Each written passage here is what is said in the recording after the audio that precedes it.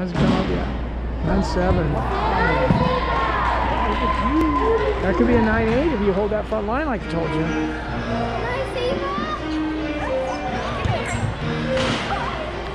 Watch your feet under this one, Right here. Oh, she did it. Good for her.